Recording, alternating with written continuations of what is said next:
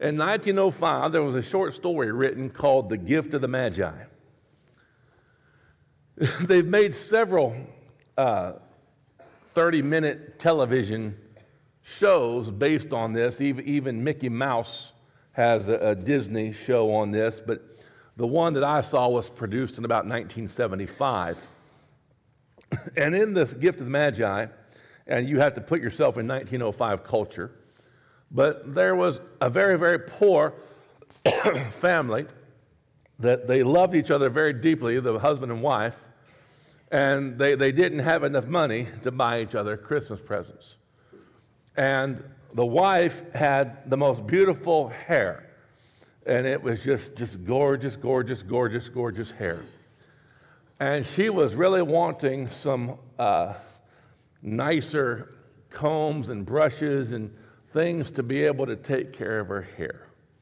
But apparently, her hair was like movie star quality, okay?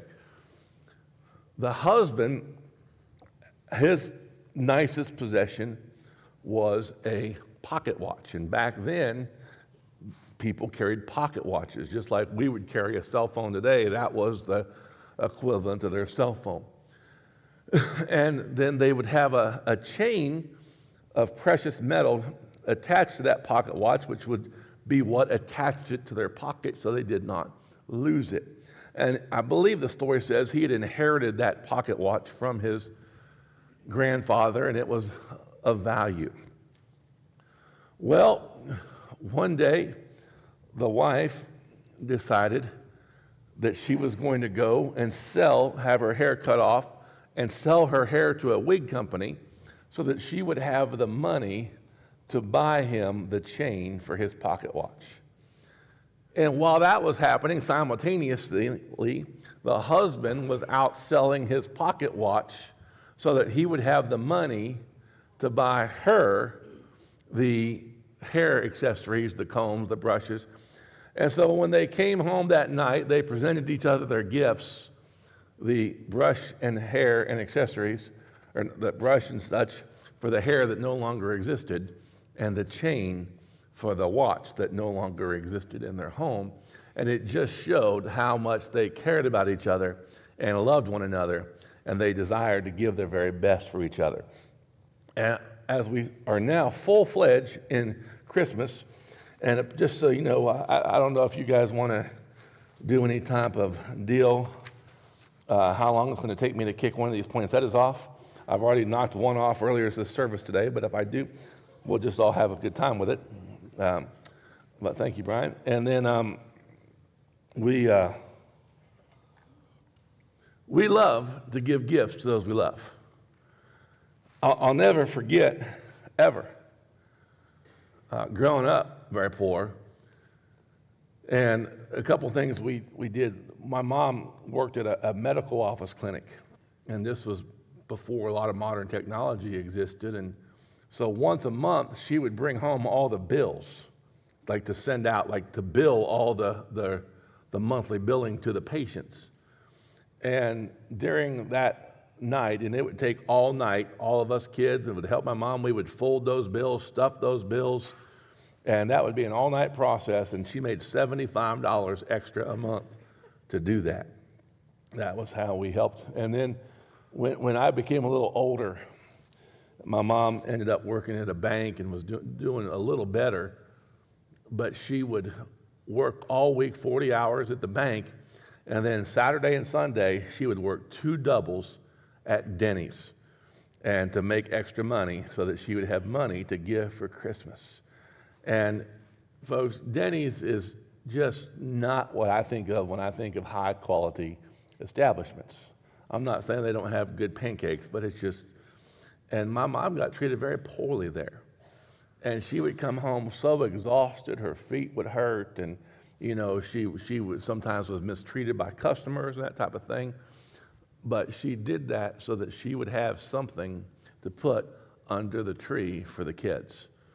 And it just tells, shows us how much our, our, our love runs deep, gives us the desire to give. And the greatest example of this is John 3:16, for God so loved the world, he gave his only begotten son. The greatest example of love was God the Father giving us the very, very best He had, the Son of God, Jesus Christ. You can give without loving, but we cannot love without giving. And so I just wanted to point you toward the offering today with that and just settle it in our hearts that let the love of God be shed abroad in our heart to the point where it compels us to say, you know what? I want to give my very best, not just for my kids, not just for my spouse, but for the one who saved me. Amen? That's just our offering talk. So today, let's we're going to pray one more time and get into the message. Lord, we thank you and praise you. I pray you put me on as your microphone today. Give me the right words to say with the right spirit to say them with. I pray, Lord Jesus, that you would anoint our ears to hear the living word of God. Lord, that every person here would receive a touch from you. Amen. Two things I want to say. Uh, number one, sometimes, and today's sermon is not one of those times, but there are times as pastor, I have to wear the pastor hat, and, and, and you, I have to preach the Word of God or help people walk in the Word of God. And sometimes that, in a, when a culture is going kind of crazy against the things of God, that will put you pitted against the culture. Does that make sense to everybody? I don't ever want to come across as the bad guy in your life. I want to be the good guy in your life. Amen. I want to be on your team. I want to be rooting for you. I want to be your biggest cheerleader, your biggest supporter. I want to be a father figure. I want to be what, what, what I need to be to be the pastor. But if there ever is a time, and I want just that I have to preach the standard of the Word of God, and it gets on you like it, it directly confronts, confronts something in your life, I'm still your friend. I'm still, I'm still on your team. I'm still for you. But there are times I've got to preach it. And today is not one, not one to be one of those really convicting messages. Today is just a, a fun message. But I just felt like I needed to say that today. Amen. Does that make sense to you? All right. Well, praise God. Let's get into the Word. And in today's message, we're going to set up a series called Come Together for Christmas. Today's message, I'm going to give you the theological foundation. Okay, I'm going to give you the theological foundation. In other words, the scriptures to, to lay the foundation for this message. And then the next two to three weeks, I'm going to come back and we're going to show you the practical application of what this means, how to apply this. Because I think theology is wonderful.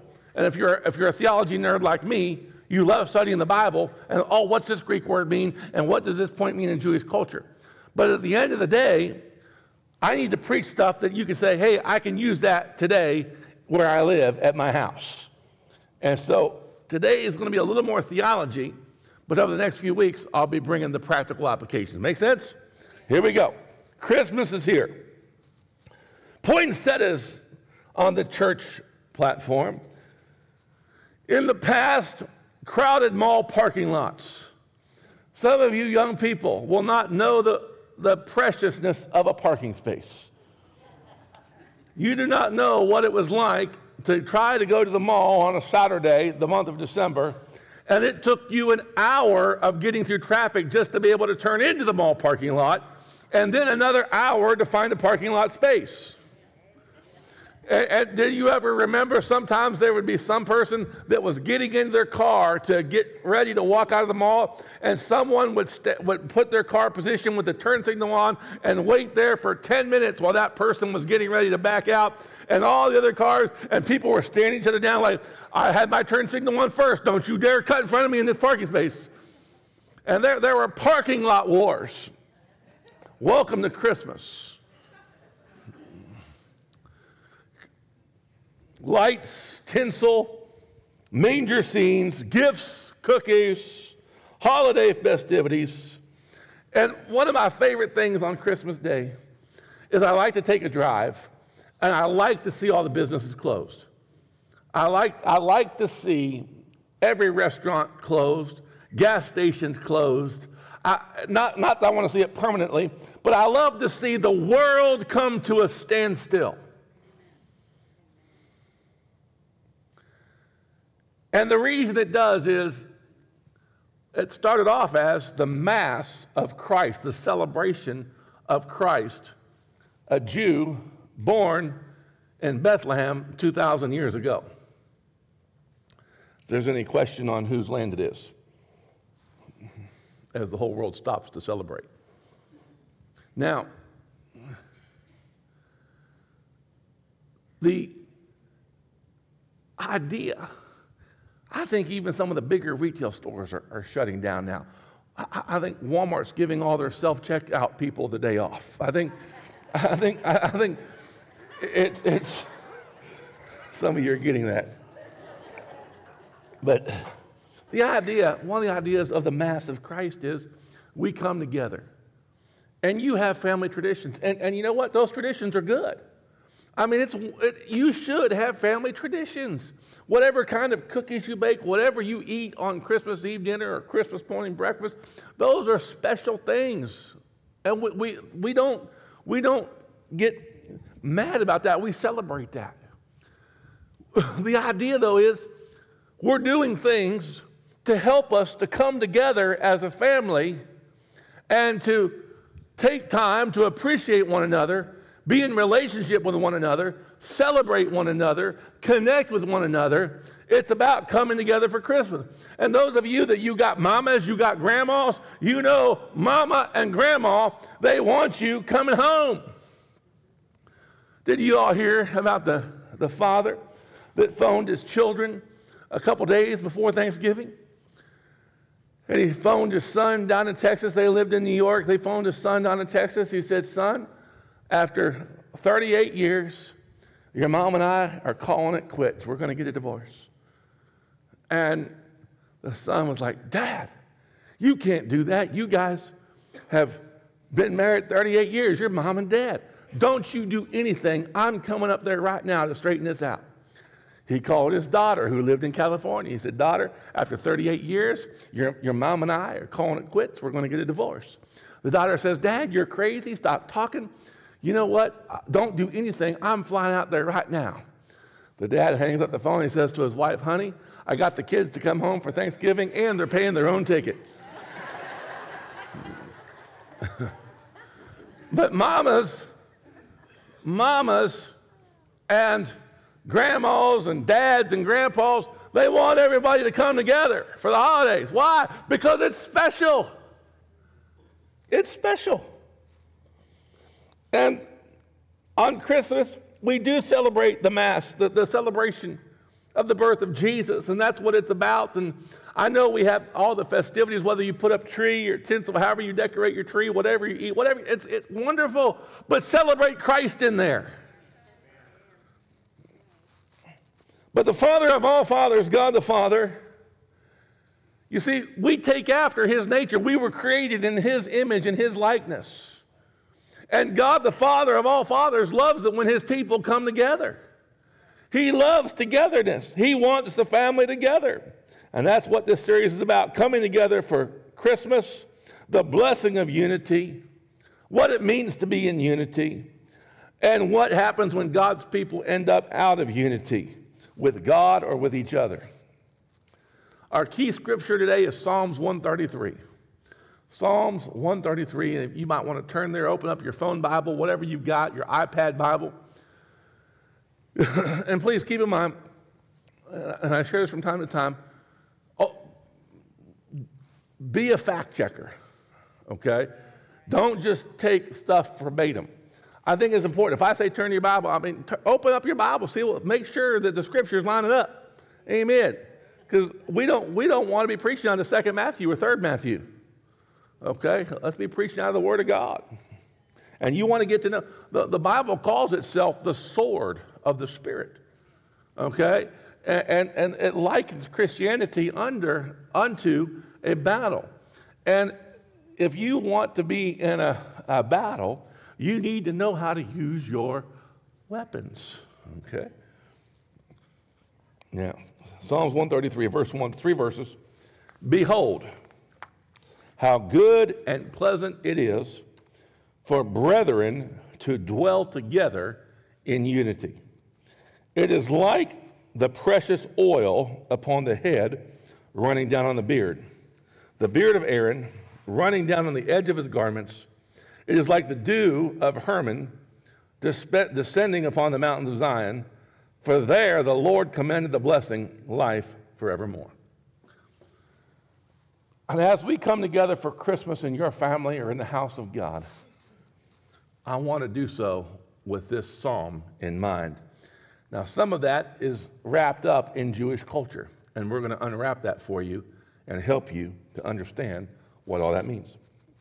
Unity, there, the Hebrew word yachad, it means to become one. A group of people laying aside personal ambitions to pursue a common cause, interest, or action becoming like minded. I wanted to show a video at this point to spice it up, give you a little kind of fun flair. So I, I just thought, what could I do? And so I, I, thought, well, I've never really watched Jerry Springer, but let's see what Jerry Springer. So, so I looked up Jerry Springer and said, well, we can't show that in church. So I looked up a couple movie scenes, said, well, I wonder if we could show these. Nope, can't show those in church. So I said, I, I just wonder. I just wonder what would happen if I typed in YouTube, church fights. I can't show that in church. But there's a lot of them. There's a lot of videos showing people duking it out, fisting it out, suing each other uh, uh, in the body of Christ. And I thought, you've got to be kidding me. But it, it's there. It's there. And it was just, I about wanted to vomit. I felt like I need to go take a shower. I'm not showing that. So, bottom line, there is no funny video today. Because I couldn't find anything that would help without hurting. But in the age of video, in the age of modern television, Jerry Springer was kind of a downer as a reflection on humanity. That's, you know, if, if, someone didn't live here on this planet and they came to this planet and they saw the Jerry Springer show, they'd have a pretty low image of humanity. But the same can be true when, when the brethren of Christ walk out of unity, it can be a poor reflection on the church. When your family, I don't know if you've ever had family feuds before, if you've ever had issues where you have family drama. But as a pastor, there are times I have to help families and, and, and pray with people who, who've had that. It's a, it's a terrible, terrible reflection, and it hurts people. That's not how God designed for us to live. Unity can be around a vision. Like, for instance, a, a sports team, our vision is to win the championship. For a company, our vision, most companies, the bottom line is they say our vision is to, they're not going to say this, but to make money. But they're going to have a set of principles and a, a guiding statement you know, when I was in CarMax, ours was to provide excellent customer service. We had four keywords we had service, selection, uh, quality, and price. Uh, and those were the four buzzwords we keyed in on. That was, that was our purpose and our vision. That's what united us as a company, and that helped the bottom line. As a Christian, the cause of Jesus Christ should be what unites us with any other Christ fearing person on this planet, what, no matter what color they are, no matter what language they speak, no matter where they live, what economic level, what all those things, the, the cause of Christ should bring us together to be one body. Sometimes I hear about Lone Ranger Christians. Some of you may know who the Lone Ranger is. Some of you may know what the William Tell Overture is. If you don't, the Lone Ranger was a, it's an old Western show, and he was the good guy. He was called the Lone Ranger. He, he wore a mask. Nobody saw his identity, and he, he was the hero of every episode. But you know, even the Lone Ranger had a friend named Tonto. Even the Lone Ranger had a partner. You know, God does not want us to be alone. Uh, I mean, Batman had Robin, right? Uh, Shaggy had Scooby, and the list goes on. But we need one another. Lions go after animals separated from the herd. The book of James tells us, Is any one of you sick? Call for the elders of the church. The Bible notes the prayer of agreement that if any two on earth agree as touching any one thing, it has a special uh, uh, uh, uh, power. Jesus himself, the King of all kings, while he was on this earth, he drew unto himself Peter, James, and John. Paul had Timothy, Moses had Aaron and Hur, Elijah had Elisha. We need each other. God's not called anybody to be a lone ranger Christian. So, unity, and we're going we're to pick apart that, those scriptures for just a few moments here. What is unity? What, how do we get there? Well, let's talk about what it does. The Bible tells us in verse 1, Psalm 133, how good, it's talking to his brother and talking to us, how good and pleasant it is when brethren dwell together in unity. Number one, unity, when God's people walk together, brings us to a place that is good and pleasant. Now compare that in the scripture to James 3:16. James 3:16 is talking about disunity. It says where envy and strife exist, there is confusion and every evil thing. That strife is the number one one of the number one enemies of your life. If you start hear me, husbands and wives, if you start feeling strife balling up in your marriage, if you find yourself fighting more than you should be.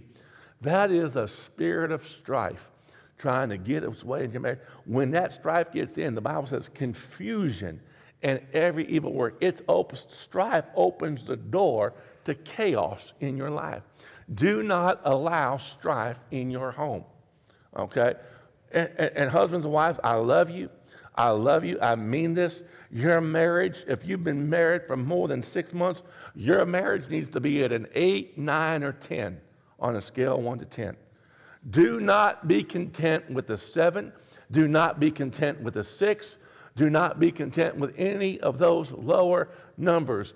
God's will is your marriage to be a high functioning, high quality marriage. The devil comes to what? Steal, kill, and destroy. The devil is a divider. The devil did not show up in the garden until there was Adam and, Eve, until there was something to divide. And he divided and conquered. Okay, the devil is a divider, God is a multiplier. Parents, you, you may go through times with your children and they're going to go through several phases in life. And one of the hardest phases, parents, is when you go from being cool to your kids to being the unnecessary item in their life. And, and, and you know, and when they begin to hide themselves behind the and close the door, and they see time with you as a punishment, not a blessing. But th- there, there are phases in life that they go through. But regardless of the phase, do not allow strife, division between you and your child. Get to the bottom of it. You don't want that in your house. I love you so much. You don't want drama. I don't I cannot tell you what you should do. But most families have somebody who is known to be the troublemaker in the family. And maybe they come to family dinner and they show up drunk, they show up high, or they show up with, with things that, that are not uh, conducive. I can't tell you what you should or should not do, but I can tell you this you ought to approach that very prayerfully and get the mind of Christ.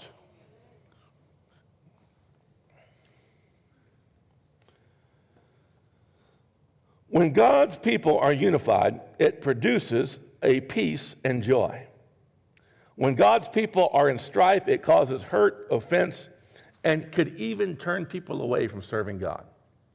You know, I, didn't, was not my intention as I was looking up those videos to see church drama. But there were a couple that got so bad that, that it made the news.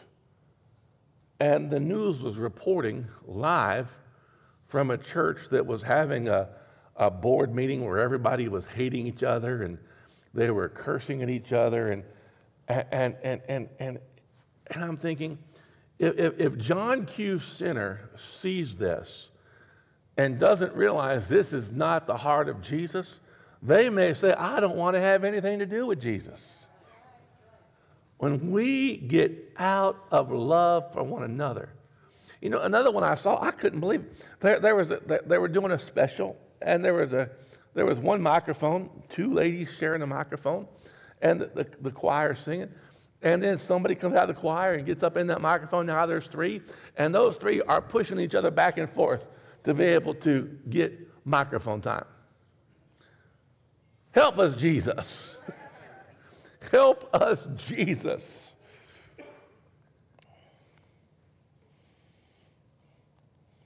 We want the good and pleasant. You know what? Y'all, y'all, y'all know what the, kind of the definition of a, the word masochist is? Someone who enjoys torture. God has not called you to be a masochist. Okay? God has not called you to enjoy bad and unpleasant. There is the nature of the Father in you that says, Hey, I want to have a life that's good and pleasant. Is there anybody here that says, Pastor, I do not want to have a good and pleasant life? I, I mean, you'd be crazy, right? That would be a mental disorder to say, I want to have a bad life. I want to have an unpleasant life. We strive for the good and the pleasant. Well, the Bible's laying it out here. When brethren dwell together in unity, that's where the good and the pleasant are. When you come to church, we want you to walk in. We want you to feel the good and the pleasant. You know, we pray here all the time, and, you know, we have people come in and, and, we pray over the chair. We're praying for you. But one of the things I've been doing, I pray in the foyer, in the cafe, and over the doors, and, and, and in the little area, the, the, the double door area. And, and my prayer is when you walk into this building, that the presence of Jesus overwhelms you. When you walk into this building, you become aware of his love. You become aware of his plan. You become aware of his, his passion for you. Why? Well, that's, what is that part? I want you to feel the good and the pleasant.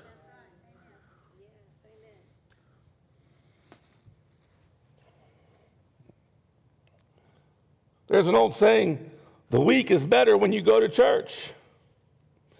Why? Because you came in and you took a dose of good and pleasant. You know, a lot of people take vitamins. Nothing wrong with taking vitamins. So, does anybody old? I, I, I missed this one. Thank God this is older than me, but there's a generation before me that you guys took castor oil. Does anybody ever have to take that stuff? Oh my goodness, great. I, you know, I'm so thankful. My mom and my grandparents did a lot of crazy things to me. That is not one of them. Praise the Lord Jesus. I'm so thankful. Uh, there are people that think that eating onions is good for their health. They eat onions on a regular basis just for health benefits. There are people that drink ginger tea because of ginger tea health benefits. There are people that believe in vitamin C because of vitamin C health benefits. Well, oh, praise God. If, if, that, if to you, do it, do it. Praise God. But the reason why people take vitamin C, the reason why their entire store is set up for vitamins, there's entire YouTube channels and people have social media followings with home remedies and cures is because people want good and pleasant. Number two, it says that when God's people dwell together in unity, it's like the oil that flows down over Aaron through his beard and all the way down his garments. Oil in Scripture is a representation of the Holy Spirit. And in this case, it's a representation of what we call the anointing. Okay, the anointing means the yoke destroying, burden removing power of God. Now, up here at this pulpit, we keep this little jar of oil. This is oil. Okay, this isn't like, you know, Pastor Matt sipping behind, you know, it's just anointing oil. Okay, it smells, smells very good. All right, and we, we believe, uh, James chapter 5 and other scriptures tell us that when someone's sick, we lay our hands on them, we anoint them with oil, and that prayer of faith saves the sick. But the way we do oil is we do a little dabble, do you? Okay, and, and just to kind of show you how we do it, I would put my hand over the top. I a little bit of oil. We don't dump, we, it's just nice and clean. We don't mess up the carpet, that type of thing. Now, in the Bible times, the way they did the anointing of oil, they would have a giant flask. Okay? And when they anointed you with oil, you would basically kneel down and they would dump the whole thing of oil all over you. You knew you got anointed. There was no question. Did I get anointed today? Did I get anything? Oh, yeah, you, you got something. Well, the oil was a sign of the anointing of the power of God to break and destroy yokes off of your life and to do for you what you cannot do for yourself. When God's people come into unity, it produces an atmosphere, not just a little bit, but it produces an atmosphere of anointing, of Holy Spirit, tangible power that breaks yokes and burdens, that draws people to salvation, that brings deliverance, that brings the miraculous.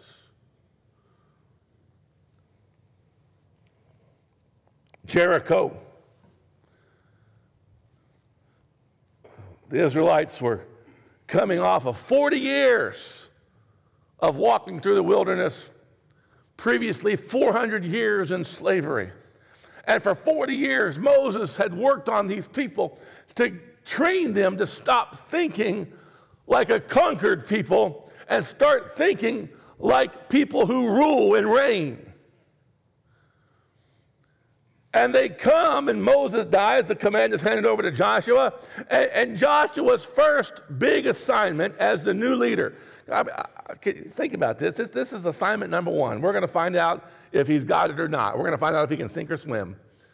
Joshua, your first assignment, get these. I want you to cross the Jordan River, which even Moses wasn't able to do. So you're going to do something that's not been done in 40 years, although they wanted to. And then you're going to come to a place called Jericho. Now, in Jericho, we know that it's a, it's a walled city, it's fortified. They have modern weapons, they have great soldiers, they have a great army. You're going to take on this walled city, and here's how you're going to do it. For six days, you're going to have all the people make one lap around the city, and they're not going to say a single word. Now, think about the preposterousness of that.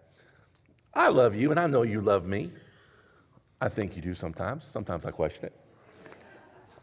But if today I said, you know what, folks, let's go down to the state house in Indiana, whatever, or we're going to go to whatever thing, and we're all just going to, for six days straight, we're going to march around it one time, and you're not allowed to talk. Nobody's allowed to say a word. I know you love me, but you might be saying, oh, Pastor, I got that thing I got to do. I, I, got a dental appointment. I didn't have one scheduled, but I think I'm going to go have all my teeth removed just so I don't have to go. I, I think sometimes we, we don't, we, when we're reading it through in our devotions, we don't realize the audacity of this. I'm going to take you to a city that's walled, that's got a fortified army, that they're, they're soldiers or trained soldiers. They could kill us, and we're going to walk around. And it wasn't just the men, it's the women and children too. We're walking around, and by the way, nobody's allowed to talk. No talking. Can you imagine? No talking for a whole day? Wow. I I'm watching some of y'all in here, you can't go 30, 30 seconds, uh, you know. Lean over, and say, I don't, I don't know if this is ever going to end. What are we having for lunch today, honey? Did I turn the oven off? And then on day seven, they were to march around it seven times. And then, then the way they were going to win the battle is shout. Now, if I told you guys, we're going to go to a fortified army base, they've got all sorts of weapons and trained soldiers. And all we're going to do is walk around them for six days. On the seventh day, we're going to walk around them seven times. Don't anybody talk And then all of a sudden, at the end of it, we're all going to shout. That's going to give us a city. How many of y'all know that would take great faith? But the people did it. Uh, Joshua had to be some amazing leader. I mean, to have that kind of loyalty, that kind of following. But, but one of the keys was, he said, I love this. He said, no talking. You know what? How many Christians have talked themselves out of a miracle? You know how many Christians have talked themselves out of a blessing of God? Because we begin to speak against the very things that God is calling us to do or has enabled us to do. And there are times God's put some amazing things in front of you. And be careful. Don't use your mouth to sabotage what God wants to do in your life or in your family or in the kingdom of God. Amen. That was the key. Guys, we're going to do this, but you just keep your mouth shut. Don't talk against it. Can, can I just, can I help you? There, there, I, I, I worked in corporate America for a while. I understand sometimes there are some things about corporate America that are just absolutely no fun. I get that.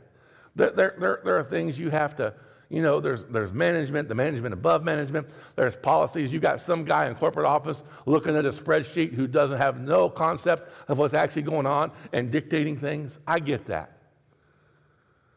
But you know what? When, when change comes down, when you get those corporate memos, when you get those emails, you know, the natural human reaction is to say, well, this is stupid. I don't know why we're doing this. There's some idiot up at corporate doesn't know what he's doing, blah, blah, blah, blah, blah.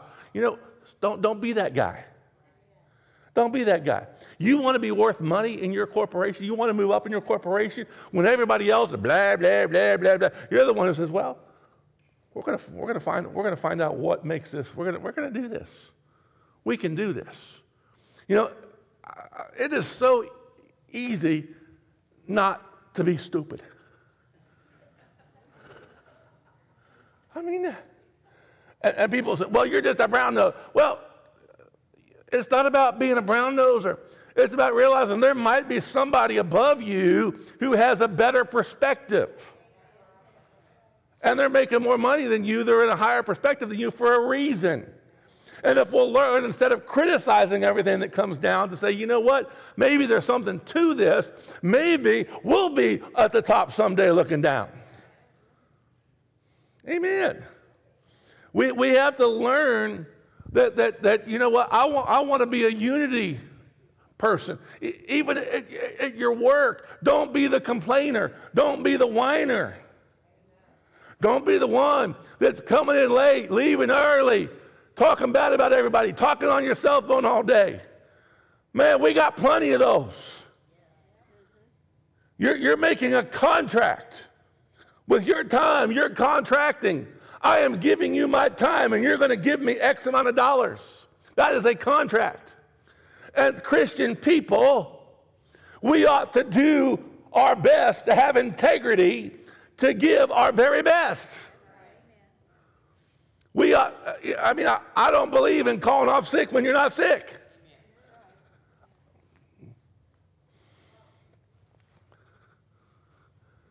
A lot of people, well, I'm calling off well today.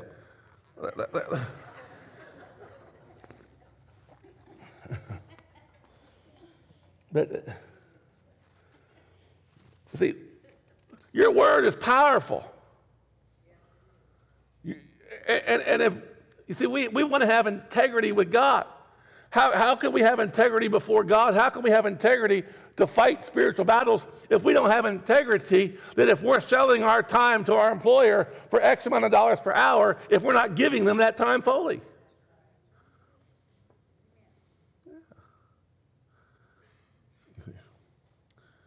So, unity, and, and you'll find, and, and corporations know this, sports teams know this.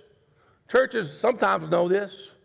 But man, if, if we'll get people unified around a vision, we can do anything.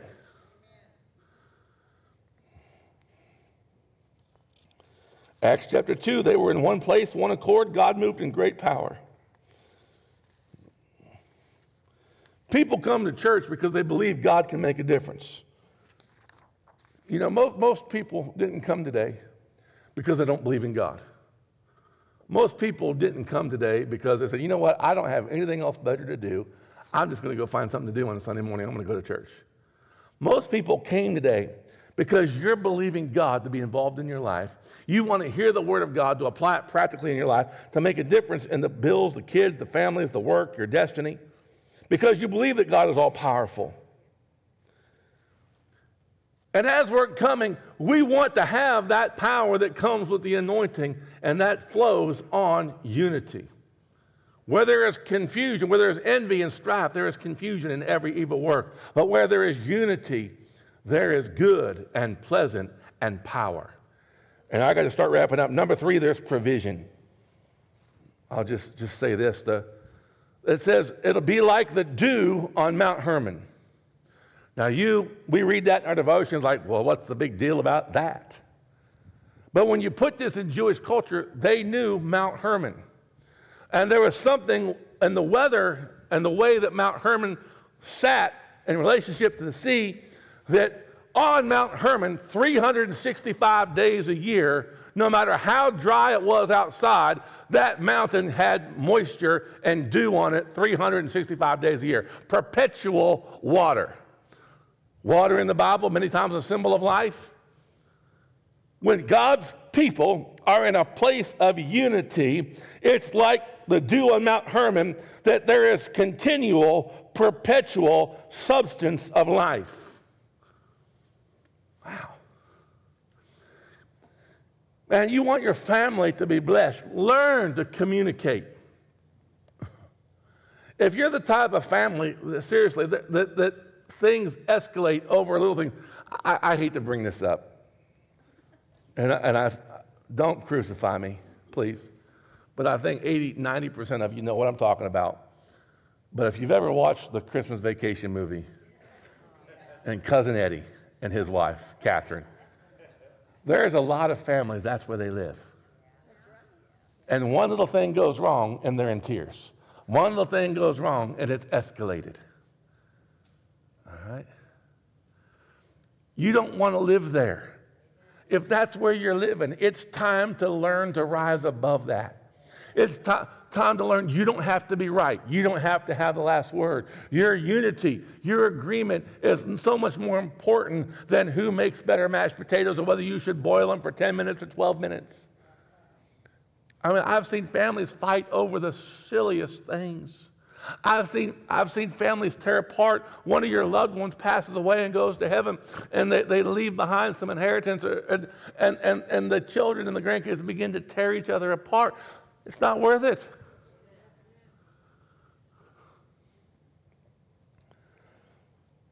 Lastly, it says uh, in Psalm 133 where God's people dwell together in unity, it's where God commands the blessing. Now, those little participles are kind of important, okay? Because uh, there's a big difference between a and the. We could look at some of you today and say, you know, Mark Lewis is a basketball player. Pastor Matt is a basketball player. But if we put the word the in front of that, who is the basketball player? And there would be some argument. You know, someone would say Michael Jordan is the basketball player. Larry Bird is the basketball player. LeBron James is the basketball player. But regardless, when you say the basketball player, that's a whole different level than a basketball player, right? And what God says is, where, where God's people dwell together in unity, I'm going to put not a blessing, I'm putting the blessing. And when we study this blessing, and I don't have time, I'll have to pick this up next week. I want to, I'll just bring out some of that blessing. That, that, that's where you want to be. That's where you want to be. I, I, if you had if you're a fisherman and you've got a pond on the left side and a pond on the right side, and the pond on the left side, people are pulling out five pound bass one after another. And the pond on the left side, they're fishing, they're catching one, two inch bluegill every 20 minutes. Which pond are we going to fish in? We're fishing in the one loaded with bass. Why? We want the good stuff, man. Some of you farmers out there, and you're, you're looking for land. You're not looking for the land full of rocks and trees and hills and cliffs and, and terrible stuff. You're looking for that flat land. You're looking for that good quality Indiana soil. Why? Because you know it makes a difference. It's going to have yield. It's going to be profitable. It's going to be easier to work, easier to manage. Ladies and gentlemen, I, I, I want us to understand there's a difference. There's a difference in your family. There's a difference in the church. There's a difference where you work. There's a difference where you educate. There, there's a difference when we walk in unity and love and, and, and in fellowship with fellow man and we keep strife and division out, you're going to find yourself not just walking in a blessing, you're going to find yourself walking in the blessing. I love you all very much. If you would like to get born again or you're one of the people that raised your hand today, we're going to have people down here to pray with you if you need prayer for any reason. They're going to be down here to pray for you. We'll be taking that offering next Sunday night. We'll be here Wednesday night preaching the gospel. Good news. I hope you're on your way to a Merry Christmas. Salt. We'll see you tomorrow at noon. $1,000 gift limit. Bless these people, Lord, as they go. We thank you for helping us as we've started in this Christmas season. I pray for every family to function at the level of excellence and unity and love and faith. In Jesus' name, amen. We'll see you out in the foyer.